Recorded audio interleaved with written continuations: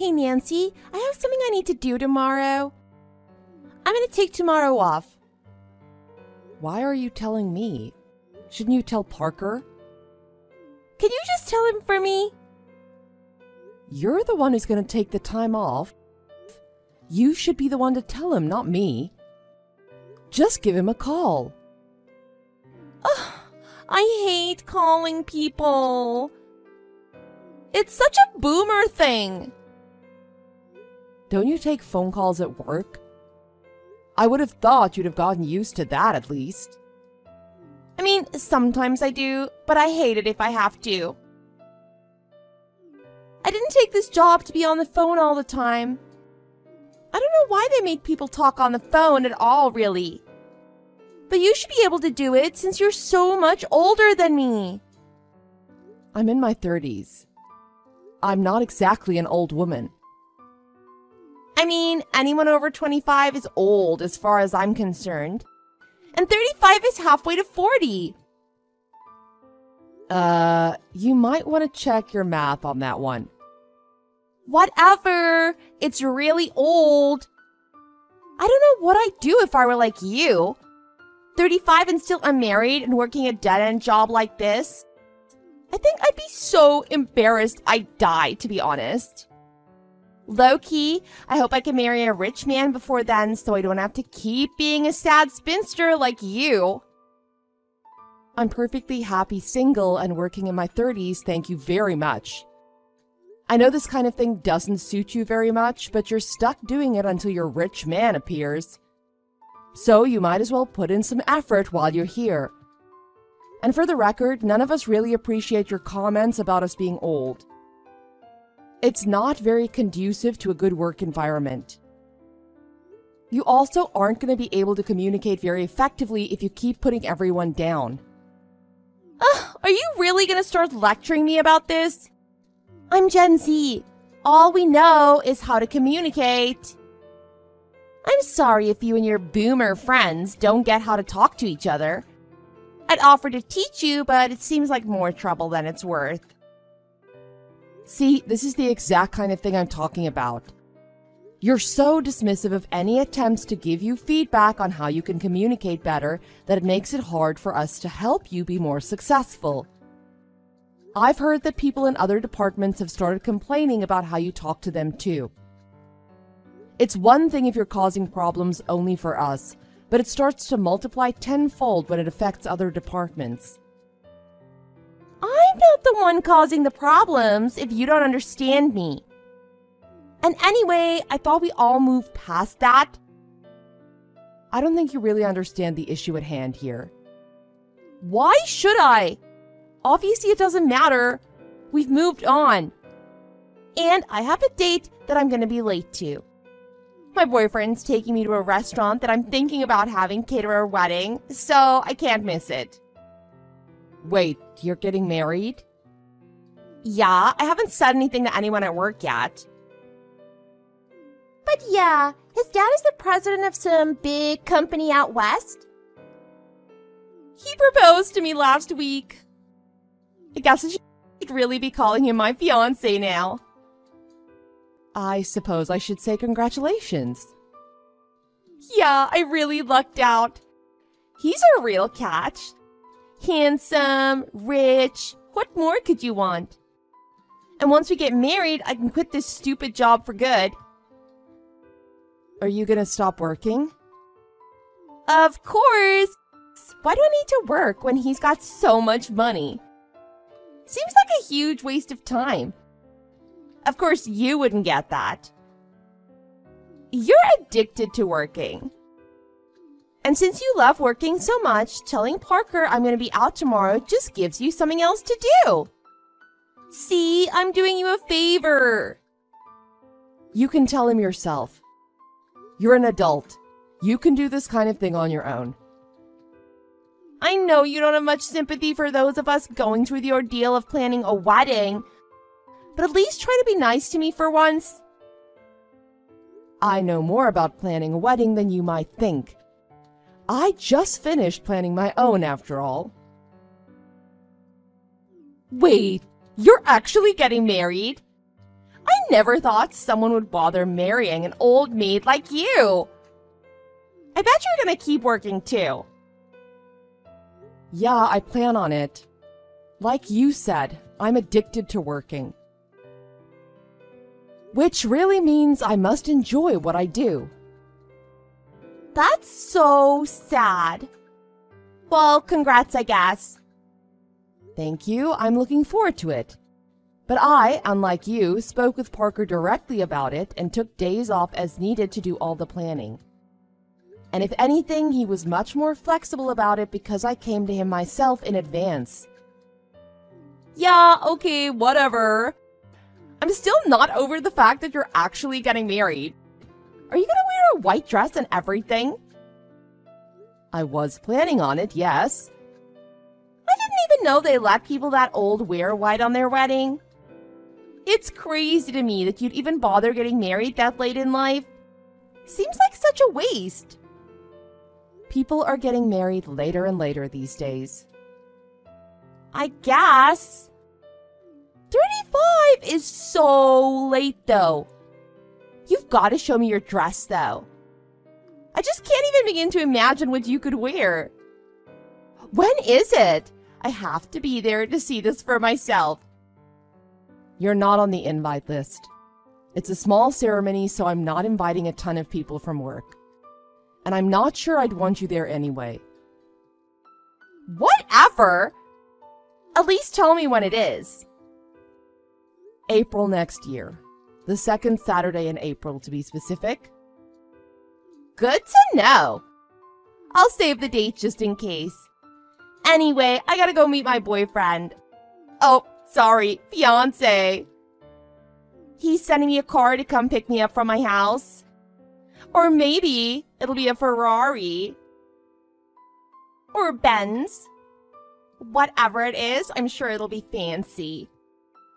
Just make sure you tell Parker you won't be in tomorrow. I'm not going to be responsible for you getting in trouble for being MIA.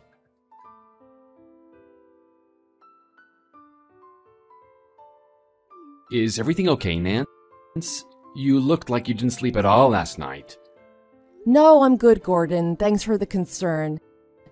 I've just been really busy with last minute preparation for the wedding and our trip is all. Yeah, well, don't worry too much about it. I'm sure they'll be great no matter what. Yeah, you're right. I just haven't had much time to make sure everything is finished since work's been kinda busy. I know what you mean. I'm gonna try my best to get all my work out of the way before the big day, just so they don't bother me while we're on our honeymoon. Yeah, I'm gonna try to do the same. Don't stress too much about it. It's not gonna be any fun if you're sick from stress. Yeah, you're right. I'll try to relax this weekend so I'm ready for everything next week. I should be able to get it all done before the middle of next week anyway, so I'll have a few days then too.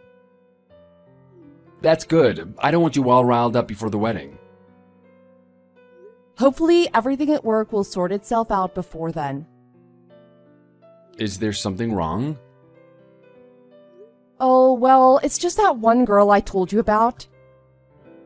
Oh, yeah, I remember her. Celia? Yup, that's the one. She keeps getting in trouble for messing up, and it always falls to me to fix her mistakes. It's just getting to be a lot of work. Is there anything I can do to help? No, not really. I think it'll be fine. The whole department is working their hardest to keep everything on the right track. So it should be fine even while I'm gone. And she's getting married soon and is planning on quitting once that's happened. Hopefully, once she's gone, things will settle down a bit. Yeah, I know what it's like to have someone just entirely kill the flow of the group by messing up all the time. It really does throw a spanner in the works to have to go in and fix someone's mistakes repeatedly. It really is a pain. And she just is entirely unmotivated to boot. But once she gets married off and quits, I won't have to deal with her anymore. That's good at least. Well, I don't want you stressing over anything you don't need to be. Let me know if there's anything I can do to help.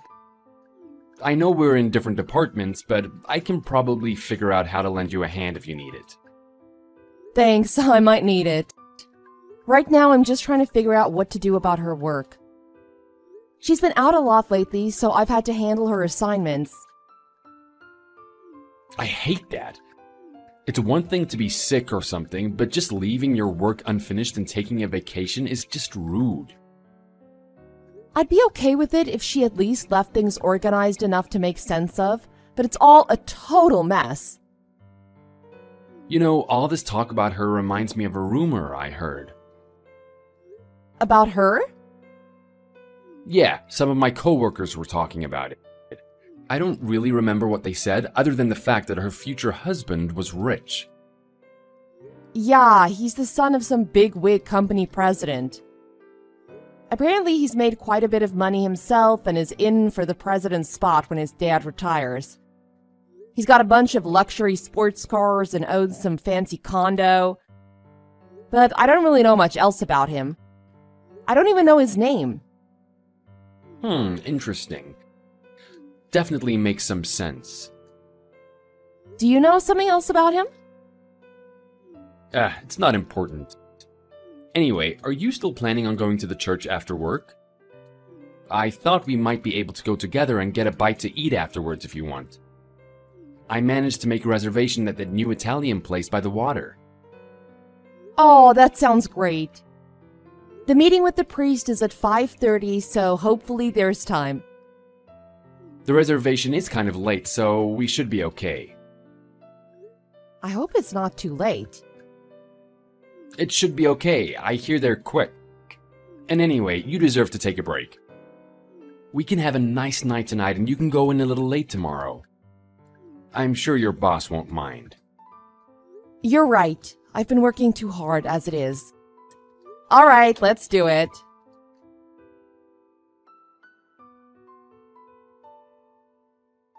Did you make it home all right? You seemed like you were in a real hurry to get out of there. I did make it home. Thanks for your concern. Why were you in such a rush? I had to get to the church for last minute wedding prep. Really? So you actually are getting married after all? I bet it's gonna be a really boring wedding. You and that bland fiance of yours are gonna put on a real snooze fest. Maybe you should consider just eloping instead. Save yourself the money and embarrassment. My wedding will be 10 times nicer than yours. I'm marrying the rich son of a big time CEO after all. Good for you, I guess. I don't really get why you're telling me, though. Oh, I guess I forgot to tell you. Our weddings are actually on the same day. Did you really schedule your wedding on the same day as mine?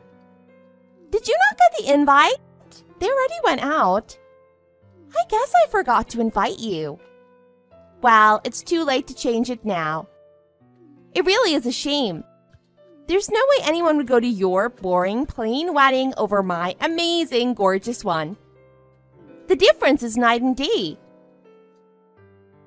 There's no way this isn't intentional. I told you about my wedding date like two months ago. I really didn't do it on purpose, I swear. I just wanted a spring wedding, and by the time we got engaged, everything was booked up except for this weekend. So you just happened to schedule it for the same weekend as mine. Why couldn't you just push it off? I can't have a summer wedding. I'll die in the heat. And I wanted to get married as soon as possible. Fine, I guess that makes sense. I really wonder though, who's gonna come to your wedding when mine is happening at the exact same time? I mean, I'm guessing the people who RSVP'd for mine. Besides, I gave people quite a bit of notice, so they were probably already committed to mine.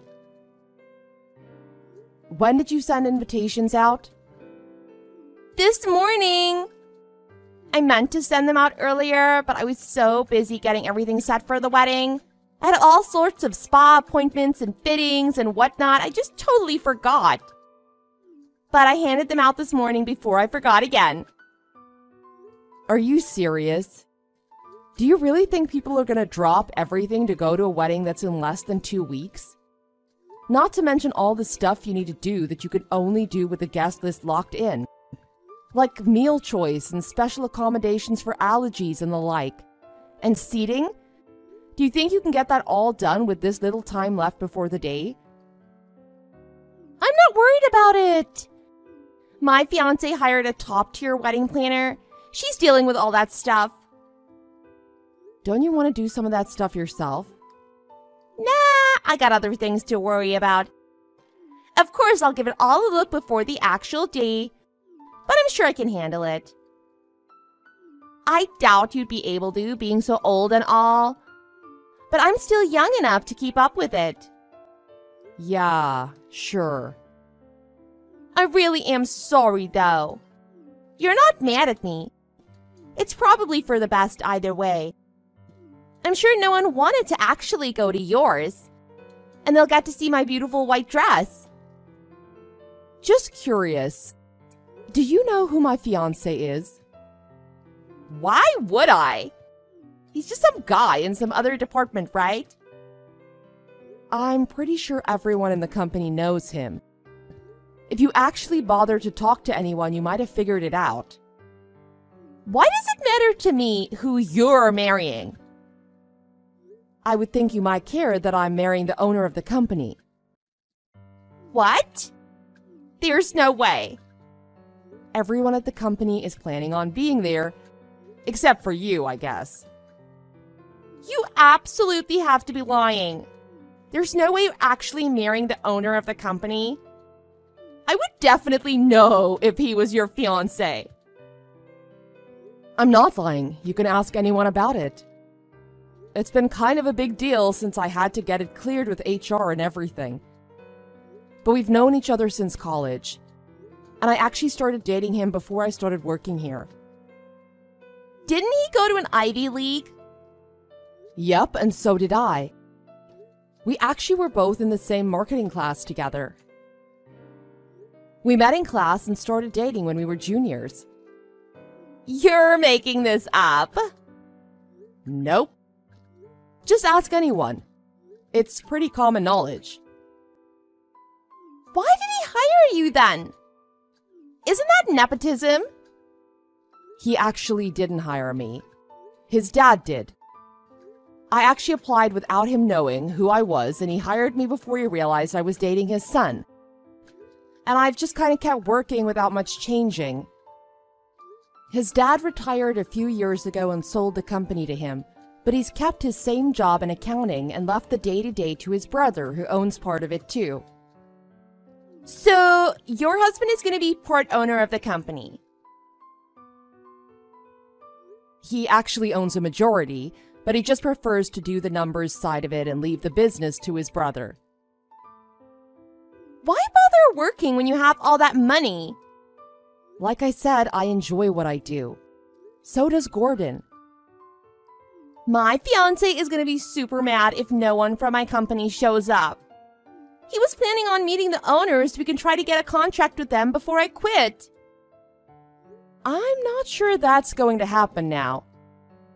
Gordon and his brother have some important plans they can't change now. Well, maybe they'll show up anyway. Or someone else from the company will.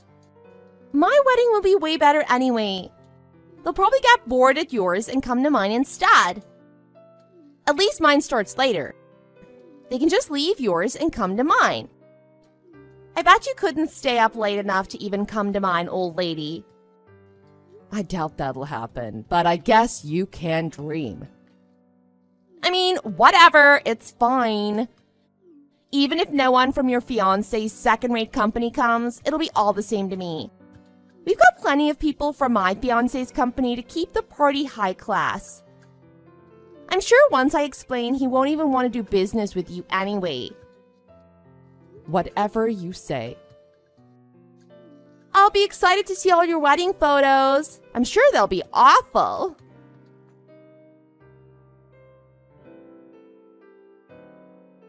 I can't believe this. How did you manage it? What are you all in a tizzy about?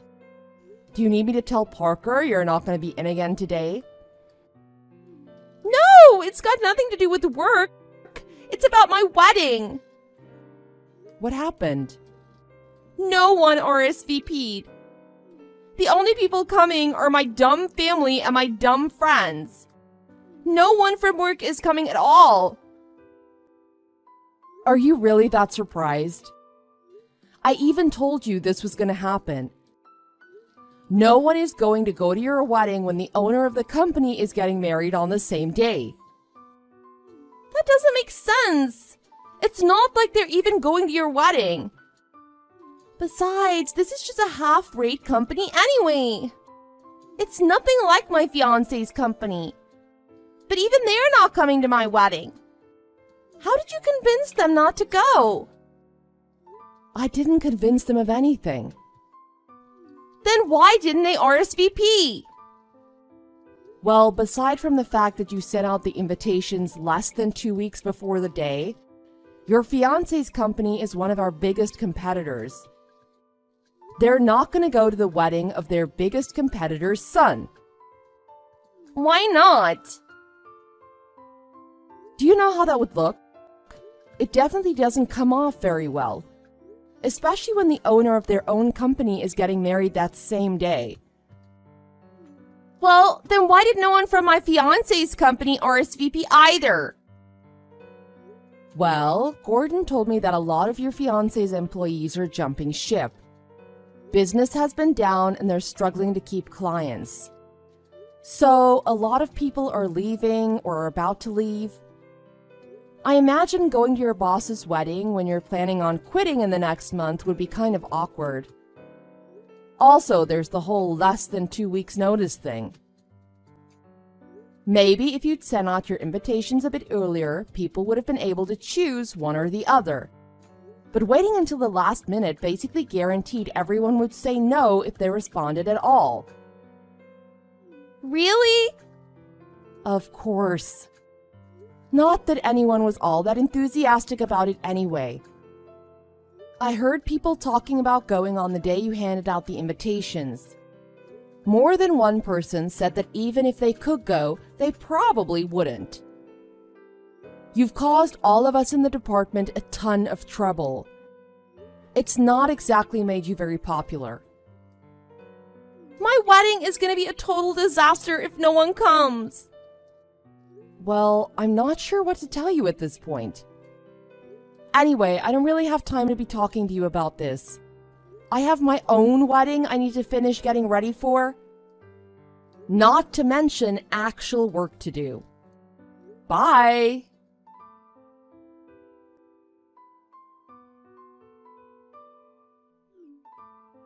Why won't you pick up? I need to talk to you. What about?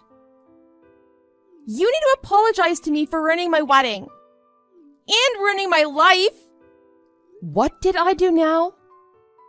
Because no one ended up RSVPing for my wedding, my fiance's parents decided we didn't need a big ceremony, so they canceled it. Now they just want me and him to have some small wedding in some rinky-dink chapel somewhere. And they're making me pay for all the cancellation fees because they're blaming me for no one showing up. Wow, that sucks. It really did sound like it was going to be a nice wedding. Sort of a shame it didn't happen, really. And I'm sure all those cancellation fees were expensive. Most places make you pay half or more if you're canceling that late. Yeah, like you care. I bet you love seeing my wedding get canceled. You could have just moved yours, you know. If you did, none of this would have happened. Shouldn't it have been you who moved your wedding? I scheduled mine months before you scheduled yours. And you scheduled it on the same day just to try and embarrass me. Need I remind you? I mean, I guess. You also could have actually planned in advance and invited people with enough notice to actually be able to respond. Maybe someone would have actually come if you did that. I'm sure people would have actually come if you gave them the chance to figure it out. Your fiance is still an important businessman, so even if they didn't care about you, they might come to meet him. You think so? I mean, probably. But if I'm being honest, I'm not even sure it would be enough reason. You've definitely made a reputation for yourself working here as someone who's difficult to be around. And it's not just in our department either. Gordon says you're rather infamous among people in the company. They've tried to transfer you to some other department, but every department has refused. And they just decided to put up with you for a few more weeks since you were planning on quitting anyway. Well, why did no one else show up then? I mean, aside from what I already told you now five times about the invitations, I've heard that there was some chatter about your wedding. No one seemed all that keen on going, considering business is so bad and everyone is quitting. But beyond that, it seems like quite a few people decided not to go because they wanted to see if they could get an invitation to my wedding instead. In fact, I think Gordon invited quite a few of the top managers to mine since he had a good relationship with quite a few of them from college. And it sounds like a lot of them heard some rumors about you too. After all, we all work in the same field. People talk. What did they say about me? Oh, well, nothing all that surprising. Just that you're selfish and bratty and uncooperative. And you're not a hard worker, nor do you care about your work or the business as a whole. I'm wondering if it's somehow managed to get back to your fiance's parents. It does seem a little much to just cancel your wedding altogether and make you pay for it if they're still happy with you two getting married. There's no way. This is slander! Not if it's true. Why are they doing this to me? I just wanted to get married and live my life. Why is everyone trying to ruin me like this? I'm not sure that was anyone's intention. It's just karma, really. Hopefully, this will be a bit of a learning experience for you. Maybe in the future, you'll treat people with a bit more respect. What am I gonna do now? I can't afford to pay all these fees. If I don't get married, I'm gonna end up in the poorhouse. I spent all my savings on getting ready for the wedding. All the treatments and the surgery. Oh, you had surgery? I didn't even notice. You might want to talk to your surgeon. Shut up, you witch! Now you're making fun of me? No, just being honest. I don't need this right now. I need to find a way to not go bankrupt. Even after my bonus, I'm still gonna be in the red. Are you really sure you're gonna get a bonus? I'm pretty sure bonuses don't go out until at least next month. You'll definitely have quit by then. I can't quit now! But you've already turned in your notice. It's too late to take it back now. There's gotta be some way, right? I don't think so. Everyone's already taken over your projects, and I'm pretty sure they're about to hire someone to fill your position. You gave them so much notice, so they had plenty of time to find someone else. I guess that makes sense. Anyway, I think we're all glad to see you go. So I'm not sure that they'd want you back even if they had a job for you. Pretty much everyone seems to be happy to be rid of you. Does everyone really hate me that much? I mean, you cost the company quite a lot in both money and time. I wouldn't say that everyone hates you per se, but at the same time, I'm not sure that there's anyone who would rather see you stay. And it's not like you've been much help as of late anyway. You've basically already been gone for two weeks. And the few times you bothered to show up, you just spent the whole day messing things up. I'll do better. Talk to your husband. Make him let me come back. I really don't think there's anything I could say to him, or anyone for that matter. Not that I'd want to help you anyway. Please, just do something. I'll do anything. I'll do data entry. I'll be a receptionist. I'll work in the mailroom. I'm not sure you're really suited to any of those jobs, to be honest. They all require you to actually pay attention to what you're doing and not make mistakes. All I can say to you is that you're still going to be here for a few more weeks. Maybe if you can convince them you're worth keeping, they'll find something for you to do. But I'm not going to be the one who can convince them. I may be married to the owner, but I'm not the one who gets to decide. And I'm pretty sure he's not going to go up to bat for you either. So, good luck. Better get to work.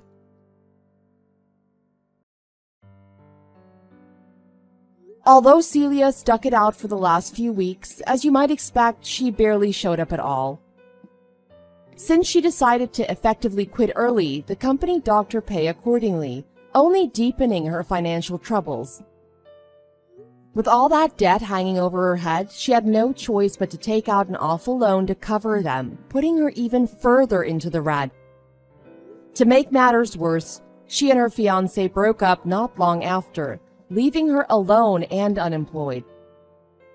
She managed to find another job to pay the bills, but her outstanding debts have basically resulted in her living paycheck to paycheck. Her ex-fiance's company also continued to have a streak of bad luck, and soon ended up being purchased by Gordon and his brother, merging the two. Meanwhile, I began my married life. After a luxurious and well-deserved honeymoon in the Bahamas, we moved in together in a brand new house in the middle of the city. Soon after, I got promoted to department head, and the two of us have continued to work together in harmony while business continues to boom.